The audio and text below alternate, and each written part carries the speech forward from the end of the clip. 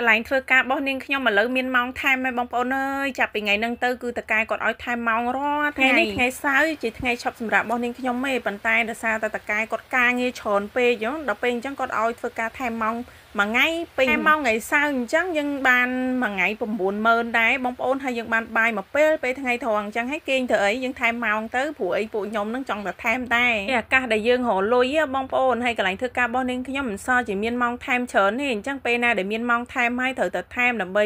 យើងបានលុយបានកាក់គ្រាន់ការចំណាយយើងប្រាក់ខែទៅយើងសល់ច្រើនដោយសារថ្ងៃនេះថ្ងៃសៅរ៍មេឃរៀងភ្លៀងផងអញ្ចឹងតកែគាត់ឲ្យដកស្មៅមកផឹកពេលថ្ងៃត្រង់គាត់ឲ្យដកខ្ទឹមដើម្បីយើងចេញទៅថ្ងៃអាទិត្យផ្សារត្រឹមតែថែមថ្ងៃសៅរ៍ទេបងប្អូន ចាប់ពីថ្ងៃអាទិត្យទៅនឹងពួកខ្ញុំត្រូវធ្វើការថែមម៉ោងពេលល្ងាចមួយថ្ងៃ2ម៉ោង2ម៉ោងជារៀងរាល់ថ្ងៃដល់7ល្ងាចអញ្ចឹងល្ងាចខែក្តៅមិនសល់ជាយប់លឿនទេបងប្អូនដោយសាររដូវនេះគឺជារដូវក្តៅដល់ពេលម៉ោង7នៅភ្លឺចេះណាតែពួកខ្ញុំស៊ីប្រាក់ខែគោលអញ្ចឹងបងប្អូនបើសិនបើយើងមានម៉ោងថែមល្ងាច2ម៉ោងថ្ងៃសៅរ៍យើងធ្វើទៀតអញ្ចឹងគឺយើងបានប្រាក់ខែបន្ថែមទៀត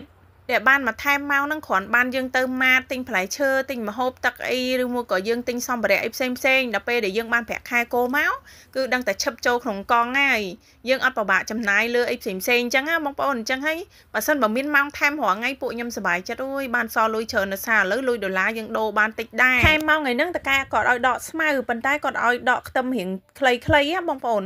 បើរៀងវែងក៏ឲ្យដកទេអញ្ចឹងដោយសារតែខ្ទឹមវាថ្លៃដល់ពេលអញ្ចឹងតកែក៏ត្រូវមើលថែពីទូទៅរោងបន្លែអញ្ចឹងវាតែងតែមានបន្លែមានអីហ៎បងប្អូនហើយដើរចុះដើរឡើងក៏ឃើញបន្លែនឹងឃើញមានខ្ចៅខ្ចៅការ៉េនេះនាំគ្នាមើលប៉ុន្តែមិនហ៊ានហូបទេបងប្អូនអើយព្រោះអីពួកខ្ញុំមកដែរហូបប៉ុន្តែវាវានៅតាមអាចឡងបន្លែយើងធ្វើការតាមហៅស៊ឺដកស្មៅពីកន្លែងមួយទៅកន្លែងមួយព្រោះរោងបន្លែនាងខ្ញុំក៏មិនមែនមានតែមួយកន្លែងដែរប៉ុន្តែដោយសារតែពួកខ្ញុំទៅដកស្មៅនៅជុំវិញផ្ទះហ្នឹងប៉ុន្តែយើងដើរទៅដើរមកកន្លែងណាដែលមានស្មៅយើងធ្វើអញ្ចឹងទៅកសកម្មឃើញបន្លែមិនបានណាបងប្អូននេះកំពុងតែដកឆ្កឹះហ្នឹងមិនមែនដកបន្លែ បោចស្មៅអីទេកំពុងតែរមើមចិត្តថាវដោយសារតែនៅចង់ចង់រងហ្នឹងមានមានមើមចិត្តថាវធំធំអញ្ចឹងស្មៅហ្នឹងគ្នា5នាក់ជាមួយនឹងប្អូនប្រុសជនជាតិវៀតណាមហ្នឹងក៏ដកជាមួយដែរគ្នាហ្នឹងក៏មកថែមម៉ោងជាមួយពួកខ្ញុំដែរអត់បានសម្រាប់ទេនិយាយជាមួយគ្នាដោយសារតែអត់មានប្រុសប្រុសពួកខ្ញុំពិបាកថែមម៉ោងបងប្អូនដោយសារត្រូវការប្រុសប្រុស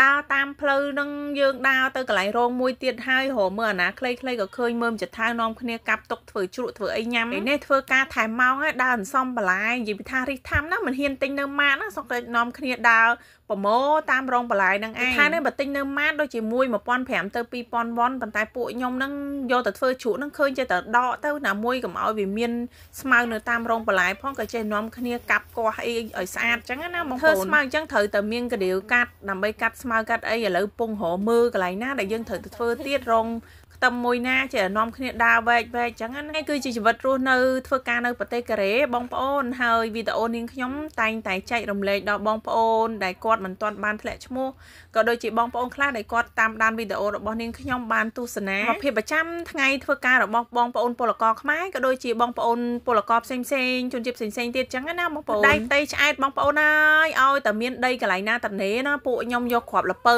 នេះយកមកដោតអីអញ្ចឹងទៅព្រោះដីតាមនេះហ្នឹងគឺអត់តកែក៏អត់មានដាំដោះអីទេវាដោះស្មៅពេញហ្នឹងហើយពួកខ្ញុំចេះតែឆ្លៀត